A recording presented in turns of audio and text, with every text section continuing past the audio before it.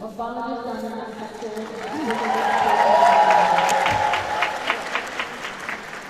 We would like to welcome our to give her address and inspire our. Honorable Vice Chancellor, honorable faculty, and of course, class of 2019. Congratulations. I have no idea why I'm standing here wearing green while all of you are wearing black. And, and, and the Honorable Vice Chancellor is the only one who's wearing a deep blue, which is a far more acceptable color than what I'm wearing. And I'm certain that I'm looking odd, but being odd and standing out has been a habit.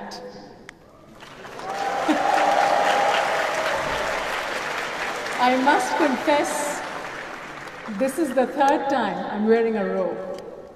I always wanted to wear one when I couldn't pursue my studies properly, a couple of decades back. So I still wanted to do my master's, and I sort of, you know, came to Dhaka University, and Professor Farhab did interview me, and I got into the MBA program, and I did not pursue it because my children were crying at home and saying, মা পড়তে যেও না অনেক গন্ডগোল হচ্ছে বিশ্ববিদ্যালয় so that was my kid so i couldn't so i went back and then i chose literature and after many many years i pursued my education and wore a robe and took the presidential gold medal from again the vice chancellor and got a full on I think I got a 3.99. and, and that was in literature. That was in literature. And I was old. I was a mother of four. And then I wanted to do my PhD. So, in spite of having corporate commitments, I pursued it. And I just got my doctorate last December. And, and today, when somebody calls me Dr. Huq, I must confess I'm very vain and I'm very proud and I kind of never object. And if somebody drops it, you know, I kind of feel a little shy and I think, I quietly remind them, you know, I have a PhD. So, just to tell you all, education is precious. So while the second valedictorian said that he had made the socially correct option, he had chosen the socially correct option, I would like you to remember that you have chosen the only option that will form you, frame you, and take you forward. So you have done the best that you could have. While I stand here today, a dear friend of mine is also in the audience, Iqbal Habib. He's an architect and a dear friend of mine for many years. And he was crying yesterday because of BUET. So I thought I would not be able to address you all without offering you an apology, a regret, and a tear. We stand together here, united, but in utmost grief as well, because we have failed you, children. It is on our shoulder that we have failed you, so forgive us. But life must go on, and we must claim the new tomorrow that you have in front of you. And don't shy away from that at all. Because you must claim your space through creative reflection and not through unplanned disruption. In my life, I have five heroes. Two of my heroes are in heaven. One is my husband, another is my youngest son. Two are abroad. One's traveling, one lives abroad, and one is supposed to be picking me up from here because there's a lot of traffic. No matter where they are and what they do, these are the people who stitch me up every time I fall apart. So it's always your family that will stitch you whenever you need to be stitched up. Don't ever be alone. Don't ever let go of your parents' hands. Don't ever let go of your siblings' hands because your family is your core. And beyond that, there's nothing in life.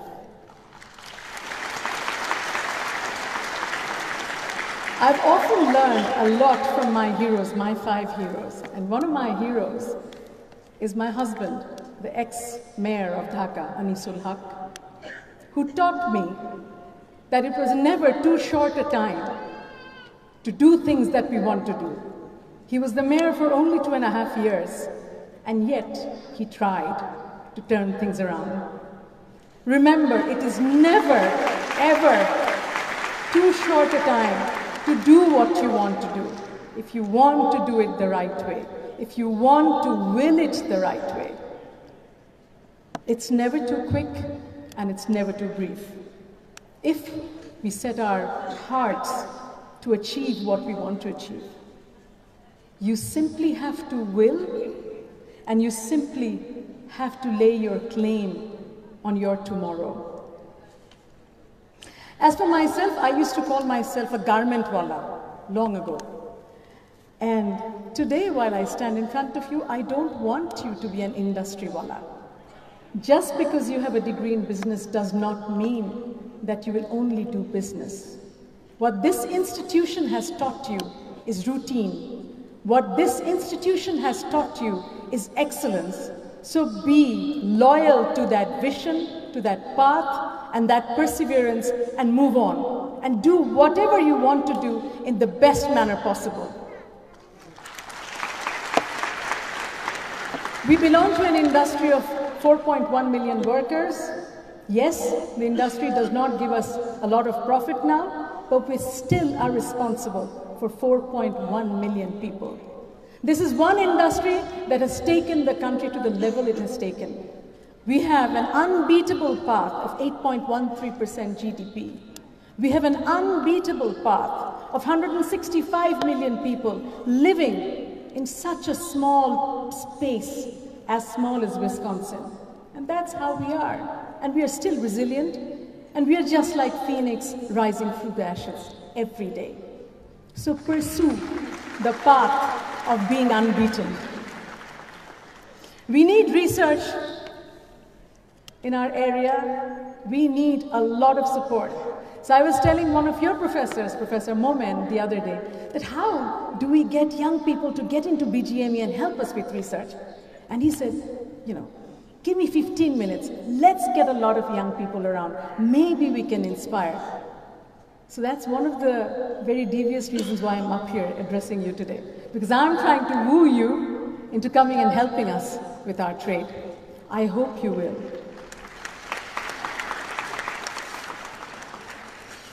As for myself, I was never meant for business. I wanted to be a journalist, and here I am. So, you see, I could have been a journalist, I could have been a teacher, but life rolls out different dices at you at different points. Never let go of any opportunity, whatever it may be. Whether it suits your purpose or it doesn't, it does not matter. Grab it, re roll it, and throw it around. And life will come together for you. You will find your own existence. You will find your own entity. You just have to be patient with the dice roll and don't let go of it ever. That's what's happened to me. Different dices have come my way and I've stitched them together and I didn't let go of even one because I chose to evolve. Life does not give you many options, but whatever options you get, make use of them. Make optimum use of them. I want to make sure that you get my message across to you straight. I come from a very, very middle class family. I literally used to teach kids when I was 16 years old because my father was retiring. If I could come up from there and represent the biggest sector in this country, so can you. You can be way, way bigger than we ever hope to be ourselves. So you can do it. Just make sure while you are choosing your battles, be very picky. Don't pick every battle. Don't get into arguments. Don't waste time in being bitter. It's not worth it. Life is far too short. You need to embrace with empathy and move on. Because without empathy, we are nothing in today's world. But while you do all that, I want you to remember that all the channel swimmers have at one point or another have stepped on puddles, swam across ponds, dived deep inside and even have forgotten to take a breath or two and have cried. So don't despair. Embrace life when it unexpectedly strikes you hard. And when life looks unforgiving, remember that is the moment that you need to remind yourself that you were supposed to be a warrior. Battle it out and win. Being able to withstand the burden of life is the first and the best test of grit and conviction. So while the wild waves sweep you across your shores, stay calm and poised. And remember that even a storm should not be able to uproot you from your home. You know, when green turtles dive deep below and go to the bottom of the oceans, they even spend up to 20 years. And when it's time to hatch, they come back again to their place. There are birds who fly thousands of miles, shedding weight, and when they want to mate, they come back home. So, home is a space that you need to cling on to. Home is where you belong. So, please belong.